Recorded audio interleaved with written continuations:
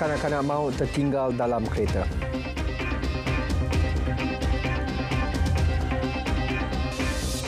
Assalamualaikum, salam Malaysia Medani. Berita tengah malam sama saya, Sahih Samsudin.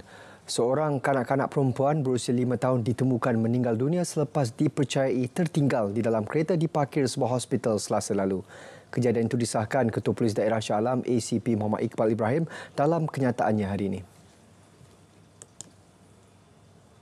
Menurut beliau, sesatan mendapati kanak-kanak berkenaan ditinggalkan oleh ibunya secara tidak sengaja di dalam kereta selepas diambil dari sebuah taska berdekatan sekitar pukul 2 petang. Semasa ditinggalkan, kanak-kanak itu dalam keadaan tidur dan enjin kereta dimatikan. Ibu mangsa berusia 34 tahun yang juga kaki tangan hospital hanya menyedari kejadian terbabit selepas dihubungi suaminya pada pukul 6 petang. Kes disiasat mengikut Seksyen 31 kurungan 1 kurungan A Akta Kanak-Kanak. Orang ramai yang mempunyai sebarang maklumat diminta menghubungi talian tertera. Seorang buruh berstatus orang kurang upaya OKU penglihatan mengaku tidak bersalah di Mahkamah Session Seremban atas tuduhan merogol anak kandungnya pada 12 November tahun lalu. Tertuduh berusia 47 tahun didakwa merogol anak perempuannya ketika berusia 16 tahun 6 bulan di sebuah kediaman di Rembau. Kesalahan dilakukan di bawah Seksyen 376 Kurungan 3 Kanun Keseksaan. Orang kena tuduh, OKT mengaku tidak bersalah selepas kertas pertuduhan dibacakan. Mahkamah tidak membenarkan sebarang ikat jamin terhadap tertuduh dan menetapkan 3 Mac depan sebagai tarikh sebutan semula dan penyerahan dokumen kes. Kes dikendalikan Timbalan Pegawai Pendakwa Raya Goh Xiao Tung manakala tertuduh tidak diwakili peguam. Dua wanita warga Thailand mengaku tidak bersalah atas pertuduhan menjalankan aktiviti pelacuran di Taman Bukit Indah 25 Januari lalu. Wanita terbabit juga didapati tidak mempunyai permit yang sah untuk tinggal di Malaysia. Pengakuan dibuat Miss Konchanok Nelebut, 26 tahun dan Miss Yu Raiwan Suka, 25 tahun selepas pertuduhan dibacakan di Mahkamah Magistrate Johor Bahru. Mereka didakwa mengikut Seksyen 372B Kanun Keseksaan, Seksyen 6 Kurungan 1 Kurungan C Akta Immigration 1959 Palang 63 yang boleh dihukum mengikut Seksyen 6 Kurungan 3 Akta Immigration 1959 Palang 63. Kes dikendalikan Timbalan Pendakwa Raya Nur Akilah Ahmad Rofi dan kedua-dua tertuduh diwakili Peguam Goh Zihan. Mahkamah menetapkan tarikh 7 Mac depan untuk sebutan semula kes. Di Mahkamah Session Johor Bahru pula, dua lelaki mengaku tidak bersalah atas pertuduhan membantu dalam pengurusan sebuah rumah pelacuran bulan lalu. Lim Kup Nam dan Liu Ching Choi, pemandu lori didakwa melakukan kesalahan itu di Taman Bukit Indah Johor Bahru 1 hingga 25 Januari lalu. Pertuduhan dikemukakan mengikut Seksyen 373 Kanun Keseksaan dan dibaca bersama Seksyen 34 Kanun sama kes dikenalikan Timbalan Pendakwa Raya Omar Faiz Abdul Qaha manakala mereka diwakili Peguam Goh Zihan. Mahkamah menetapkan 4 Mac depan untuk sebutan semula kes berkenaan. 29 warga asing warga Thailand dan seorang warga Kemboja ditahan Jabatan Imigresen Malaysia JIM Kedah.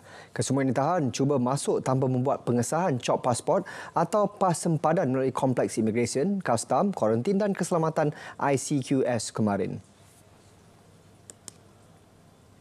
Kesemua mereka ditahan dalam operasi khas yang dilakukan pada pukul 12.30 tengah hari ketika sedang menaiki 10 kenderaan. Kita berjaya menahan lebih kurang dalam 30 orang, 10 lelaki dan dan uh, 20 perempuan.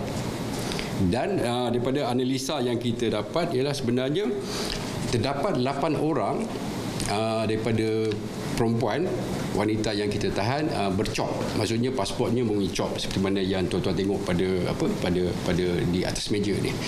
Dan 12 daripadanya yang mengejutkan kami ialah tidak bercop dengan erti kata lain tidak ada endorsement kemasukan ke Malaysia. Pihak JIM masih menyiasat kemungkinan wujudnya sindiket serta pembabitan pegawai dalam kes tersebut. Majikan kepada warga asing di Johor diberi masa dua bulan untuk menempatkan pekerja terlibat di kuartus pekerja berpusat CLQ. Tindakan tegas menanti majikan yang gagal bertindak selepas tempoh tersebut. Dan saya melihat uh, CLQ di Johor bukan saja di RTS Link ni kerana kenapa saya nak memperkasakan kerana di sinilah tempat pekerja-pekerja berehat ataupun membuat uh, apa sahaja sekiranya ada masalah kesihatan this is a CIQ macam center stop one stop center di sini untuk pekerja-pekerja asing so alangkah baiknya kalau majikan-majikan menepati syarat Keperluan penempatan pekerja di CLQ disebabkan banyak aduan diterima daripada penduduk setempat. Satu pertemuan juga akan dibuat bersama Exco Negeri bagi memastikan kawasan penduduk tidak dihuni pekerja asing. Kerajaan akan mengkaji keperluan pembekuan permohonan lesen baru perniagaan spa, refleksologi dan urutan terutama di wilayah Persekutuan. Menteri Jabatan Perdana Menteri Wilayah Persekutuan Dr. Zalia Mustafa berkata pihaknya perlu mendapatkan maklumat terperinci berkaitan perkara tersebut sebelum membuat tindakan lanjut. Apa yang sebelum kita buat apa keputusan bagi saya kita kena dapatkan uh, juga contohnya statistik ya uh, kemudian kita juga kena tengok isu-isu uh, yang mungkin berkaitan uh, bagi lesen di uh, kawasan-kawasan yang terlibat dengan uh, wilayah persekutuan lah khususnya di uh, Kuala Lumpur dan sebagainya. Kalau perlu mungkin kalau perlu kita boleh laksanakan lah tapi sebelum sebelum nak laksanakan tu saya, saya lebih selesa kalau misalnya kita dapatkan dulu semua maklumat-maklumat yang diperlukan. Terdahulu, Majlis Bandaraya Johor Bahru MBJB mengumumkan pembekuan semua permohonan lesen baru perniagaan spa, refleksologi dan urutan bermula hari ini.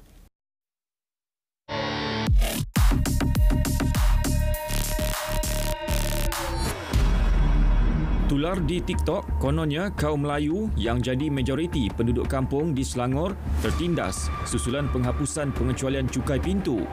Penghantar mendakwa, cubaan menekan rakyat itu sengaja dilakukan kaum tertentu yang menguasai kerajaan negeri. Semakan pasukan biar betul mendapati tuduhan terbabit adalah fitnah Menurut Exco Kerajaan Tempatan dan Pelancongan Selangor, Dato' Eng Sui Lim, kenyataannya berkaitan perkara itu telah diputar belit. Tegas beliau, penghapusan pengecualian cukai pintu tidak menyasarkan kaum tertentu. Sebaliknya, ia turut membabitkan semua kawasan kampung termasuk kampung baru Cina. Pelaksanaan cukai juga bukan muktamad. Kita akan pastikan tahun 2024 semua kampung baru, kampung tersusun bagan eh, kampung-kampung Cina ini dan juga kampung Melayu ni ya, akan dikenakan pengecualian cukai pintu secara bersasar. Maknanya kita akan bagi mereka yang memerlukan ya bagi kecuali. Terus kita bagi kecuali. Beliau turut menafikan kononnya pelaksanaan penghapusan pengecualian cukai diputuskan parti disertai. Sebaliknya ia dimuktamad Majlis Mesyuarat Kerajaan Negeri. Henti sebar fitnah, jangan mainkan isu perkauman penyebaran perkara sedemikian adalah jenayah. Terima bahan fitnah atau disyaki tidak betul, segera lapor ke MCMC. Biar betul, tak pasti, jangan kongsi.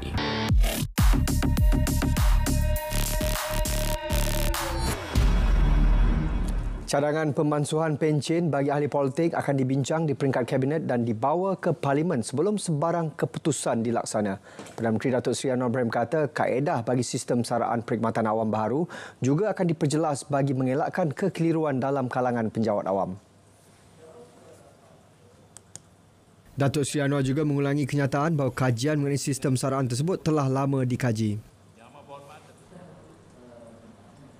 Kes untuk menolak sistem pencen ini saya ingat semasa saya menteri keuangan dulu 90-an sudah ada kajian dan kajiannya supaya mengkaji semula 90s sebab projection um, dengan jumlah pejabat awam dan projection tanggungan pencen itu dibuat sejak tahun 90-an saya minta JPA cari rekod itu dengan Kementerian Keuangan dan tunjukkan bahawa keputusan nak membatalkan sistem besaran pension dengan yang baru itu dibuat tahun 90 di, di, dikemukakan tahun 90-an. Nasib baik kalau laksanakan, kalau laksanakan saudara dah tak dapat pension sekarang. Projek Rintis Sistem Kawalan Diesel Bersubsidi 2.0 SKDS 2.0 bagi sektor pengangkutan darat barangan dilaksanakan dalam tempoh dua bulan bermula hari ini. Ia bagi menyediakan mekanisme bagi penyasaran semula subsidi diesel yang dijangka dilaksanakan dalam suku kedua tahun ini. Menteri Perdagangan Dalam Negeri dan Kos Sara Hidup Datuk Armizan Muhammad Ali berkata projek perintis melibatkan enam syarikat perintis. Projek menguji keberkesanan sistem My Subsidi Diesel dan sistem fleet card syarikat-syarikat minyak sebelum dilaksanakan kepada keseluruhan industri.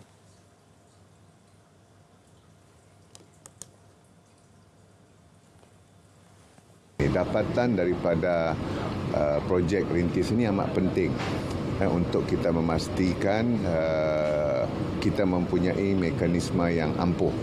Uh, pertama, uh, untuk memastikan kita melihat keberkesanan sistem itu dan juga um, kita mendapatkan feedback daripada syarikat minyak, stesen minyak dan juga uh, sektor uh, industri uh, daripada sektor pengangkutan uh, darat barangan tersebut eh, supaya masing-masing melihat sekiranya ada perkara-perkara yang perlu ditambah baik uh, supaya apabila dilaksanakan secara menyeluruh kelab uh, ia boleh berjalan dengan lancar.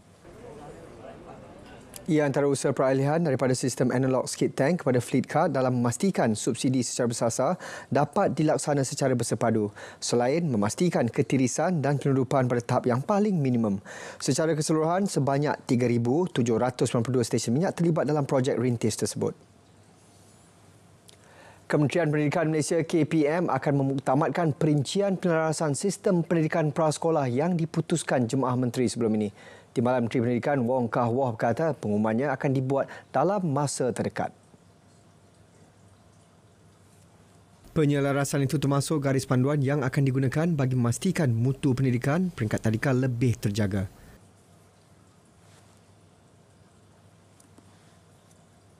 Uh, di peringkat JPM, memang jawatan kuasa prasekolah akan duduk dan bincang dalam masa yang terdekat dan memberikan uh, apa kata memberikan uh, maklumat yang terperinci berkenaan dengan pelaksanaannya. Hmm. Tetapi adalah uh, uh, untuk uh, penjelasan kepada umum bahawa ia uh, apa-apa keputusan yang dibuat oleh pihak KPM melibatkan prasekolah uh, di bawah KPM sahaja. Beliau berkata demikian selepas majlis penyerahan cek curah bantuan awal persekolahan BAP Negeri Perak. Beliau turut maklumkan setakat ini tiada sebarang aduan atau laporan diterima melibatkan pemotongan wang BAP oleh pihak sekolah sejak ia diagih di seluruh negara bermula 10 Januari lalu. Keputusan berhubung pelarasan kadar tarif air bagi pengguna domestik di Perak hanya akan diketahui awal Mac depan. Menteri Besar Datuk Seri Sarani Muhammad berkata perbincangan mengenainya akan dilakukan Lembaga Air Perak LAP dalam mesyuarat ahli lembaga pengarah pada 1 Mac nanti. Hasil perbincangan tersebut kemudiannya akan dibawa ke mesyuarat Exco Kerajaan Negeri sebelum keputusan akhir dimuktamadkan.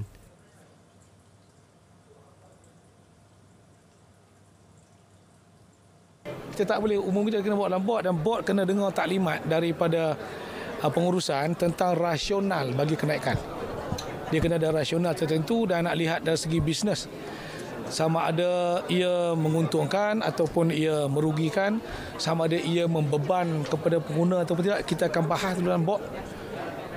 Bila kita bersetuju kita akan bawa dalam esko. Lepas tu kita umum Beliau turut menjangkakan kenaikan kadar tarif air di negeri itu namun memberi jaminan ia tidak akan membebankan pengguna.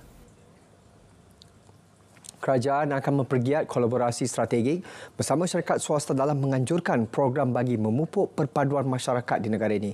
Ia sebahagian langkah penting dalam merapatkan jurang rakyat pelbagai kaum dan agama serta memupuk nilai-nilai madani yang menjadi teras kepada pembinaan komuniti rahmah. Kita ingin uh, mengadakan program yang yang membawa ke, ke semua apa nama tu masyarakat kita bilang kaum. Kita perlu juga melibatkan syarikat-syarikat yang besar-besar yang dapat bantu kita seperti Maidin. Seperti apa yang Maidin adakan hari ini bantuan-bantuan rahmah banyak dia bagi. Dan itulah uh, harapan kita lah supaya syarikat-syarikat besar ini dapat membantu kita dalam, dalam uh, pelbagai aktiviti mereka. Pelbagai usaha dilaksanakan kerajaan melalui tiga kluster utama iaitu Semarak Perpaduan, Semarak Kenegaraan dan Komuniti Rahmah. Sejumlah 10 juta ringgit telah diagih Jabatan Kemajuan Islam Malaysia JAKIM kepada 50 buah sekolah agama kerajaan terpilih di Johor. Ia bertujuan menaik taraf dan baik pulih kemudahan di sekolah agama terlibat di negeri itu. Peruntukan tersebut disalurkan terus kepada akaun sekolah dengan pemantauan Pejabat Pendidikan Daerah dan Jabatan Agama Islam Negeri Johor.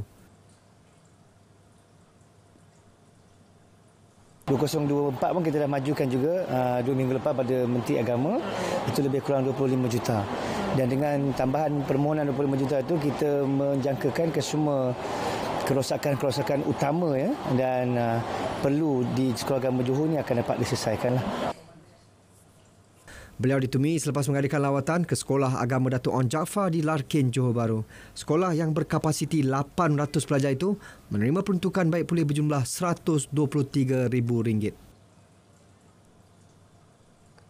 Pembinaan stesen jana kuasa hidro kecil di Ulu Slim dilihat berpotensi membangunkan komuniti setempat.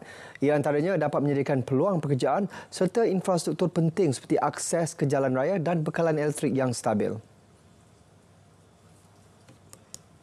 Projek itu turut menyediakan peluang peningkatan kemahiran dan keusahawanan kepada masyarakat orang asli dan penduduk setempat.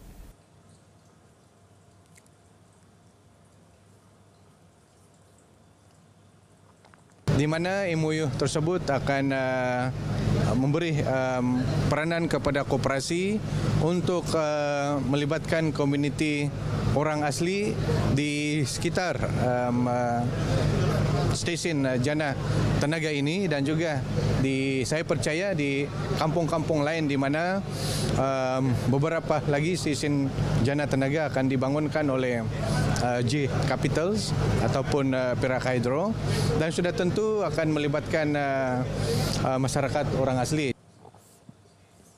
Projek tersebut dijangka dapat membekalkan tenaga elektrik kepada kira-kira 600 penduduk di pos Tenau Ulu Slim yang hanya bergantung pada tenaga solar untuk kegunaan seharian. Sebanyak 25 outlet peruncitan telah dinaik taraf melibatkan Agro Bazar Kedai Rakyat AKR dan Agro Bazar Rakyat ABR di seluruh negeri Perlis. Ia adalah antara komponen peruncitan dikendalikan Lembaga Pemasaran Pertanian Persekutuan Fama Perlis. AKR dan ABR kini telah dipelbagaikan mengikut keperluan pengguna dan sebagai pusat sehenti pemasaran pelbagai produk.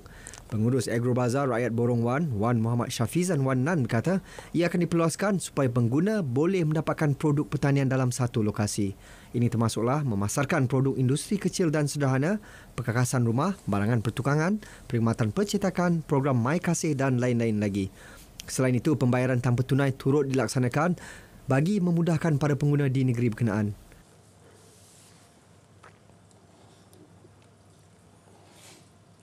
Bandaraya Kuala Lumpur menduduki tempat ke-10 sebagai bandar paling trending di dunia. Menurut laman web Kembara TripAdvisor, Kuala Lumpur berada di kedudukan 10 teratas bagi destinasi pelancongan global paling popular.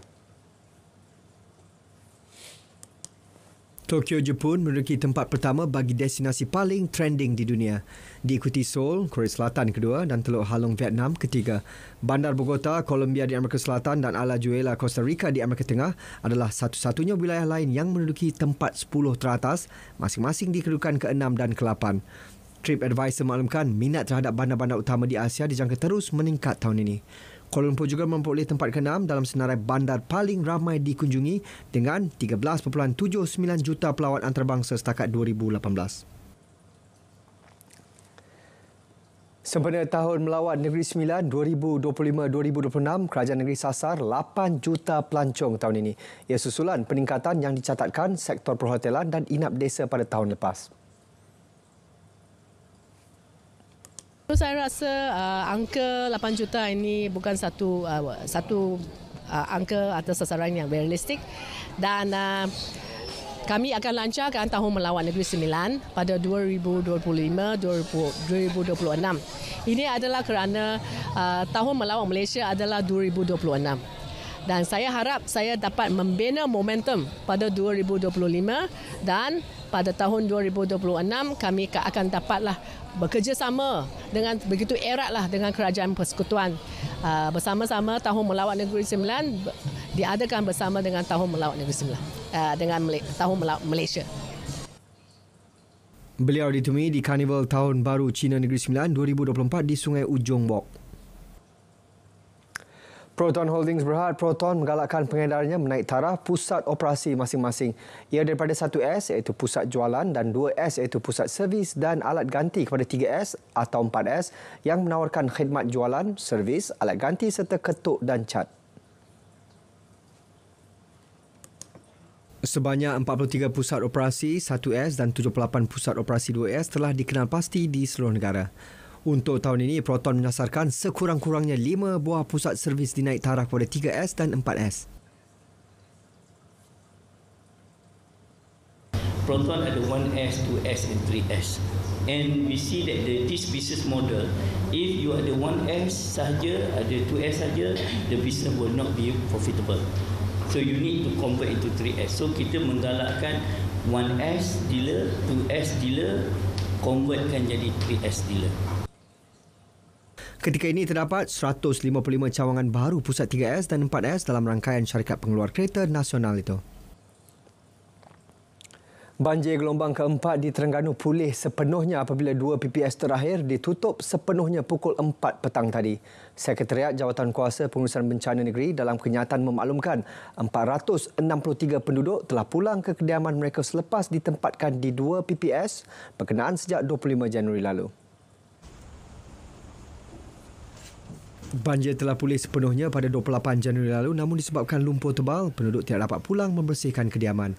Banjir gelombang keempat mula melanda Terengganu pada 23 Januari lalu dengan lima buah daerah terjejas iaitu Dungun, Hulu Terengganu, Besut, Marang dan Setiu. Isteri pelakon Allahyarham Abdul Kadir Abdul Manaf yang popular dengan watak Pak Jabit terpaksa bergantung dengan mesin oksigen 24 jam sejak Disember lalu. Raja Maharani Raja Jaafar, 70 tahun, mengalami masalah paru-paru selepas mengalami batuk berpanjangan. Ketika menceritakan keadaannya, Raja Maharani mengaku tidak selesa dengan pemakaian tiub di hidung sepanjang masa namun lega kerana dapat bernafas dengan baik berbanding sebelum ini. Kini beliau dijaga anaknya Abdul Khalid Putra, 33 tahun, selain dibantu adik Allahyarham di kampung rantau panjang Lancang di Temeloh. Abdul Khalid berkata, selain memerlukan susu khas, beliau turut berdepan cabaran lain antaranya apabila bekalan elektrik terputus.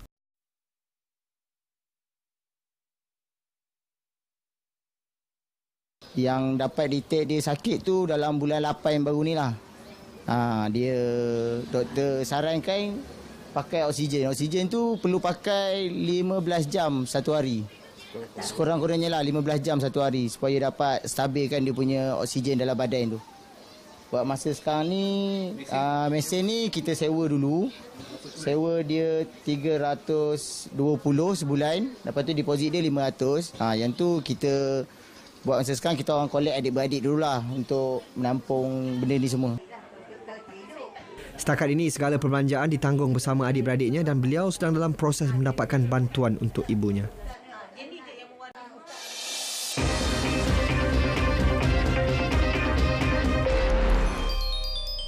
Sukan Universiti Asia AUG dan Sukan Malaysia SUKMA akan menjadi fokus utama atlet 400 meter lelaki negara Omar Osman. Beliau optimis meraih pingat emas pada SUKMA Ogos ini selain ingin mencipta rekod baru kebangsaan.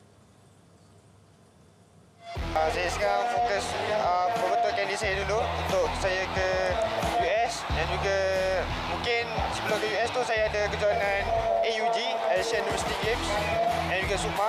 So, itu saya cubalah untuk menang medal dan pecah rekod. Uh, nak pertahankan saya punya gold medal dan nak pecah rekod. Uh. Beliau menyatakan selepas menghadiri program ramah mesra bersama peminat di Putrajaya. Omar mencipta sensasi pada Sukan Universiti Dunia University di Chengdu, China tahun lepas apabila berupaya memecahkan rekod kebangsaan dimilikinya dengan catatan 46.09 saat dalam acara 400 meter. Kejayaan bergelar naib juara edisi sulung Piala Dunia Hoki 5 sebelah dianggap pencapaian tertinggi bagi sukan hoki Malaysia. Menurut Ketua Jurulatih skuad hoki 5 sebelah, lelaki kebangsaan Wallace Tan, anak buahnya telah mempamerkan semangat juang tinggi sepanjang kejohanan di Muscat, Oman. Jelas beliau pemain telah mengerah segala usaha pada aksi final kejohanan namun terpaksa akur dengan kehebatan Belanda selaku juara Eropah. Dalam masa sama, Wallace berharap peminat sukan tanah air terus memberikan sokongan padu kepada skuad hoki negara selepas ini biarpun kemungkinan meraih gelaran juara di Oman. Malaysia memulakan kempen peringkat kumpulan D dengan keputusan seri 3-3 bersama tuan rumah Oman sebelum mencatat dua kemenangan masing-masing mengatasi Amerika Syarikat 3-2 dan Fiji 8-3 bagi mengesahkan slot ke suku akhir. Skuad kebangsaan yang bergelar naib juara kumpulan D kemudian menumpaskan juara kumpulan C Trinidad dan Tobago 5-4 di peringkat suku akhir sebelum mengesahkan kemaraan ke final dengan mengatasi Poland 4-3 pada aksi separuh akhir.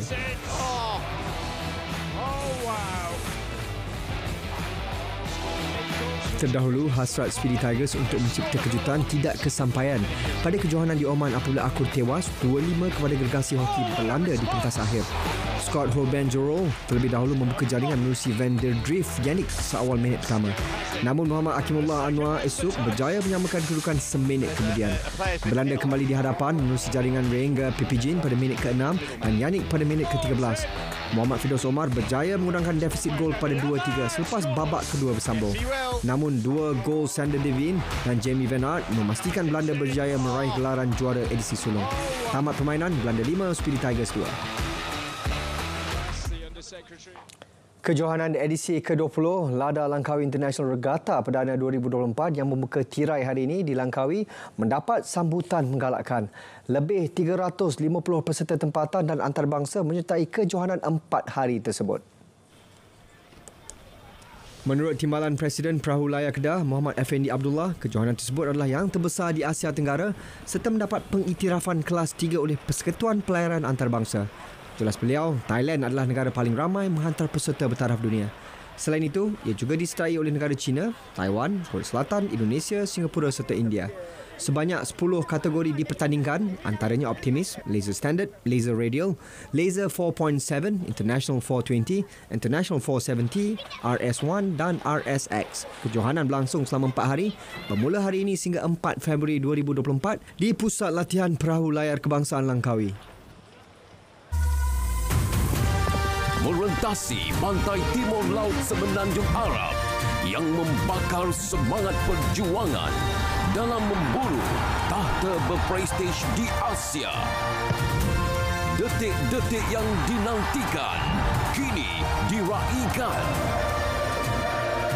24 pasukan, 6 kumpulan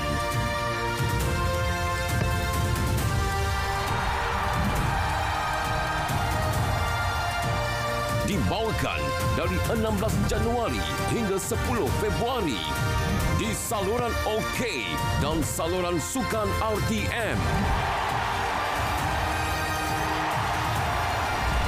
Piala Asia Qatar 2023. Heya Asia bersama RTM, official media partner.